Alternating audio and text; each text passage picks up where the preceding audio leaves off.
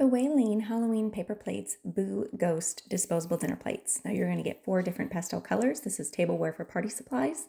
And this is going to be for my granddaughter's Boo I'm 2 Halloween themed birthday party this week. So we're super excited. Now these are perfect to either hold a slice of pizza, for cake and ice cream and some snacks, maybe some Rice Krispie treats. Perfect for the toddler edition for the Halloween birthday party. These are very cute and they go perfect with the little Boo Halloween birthday decor.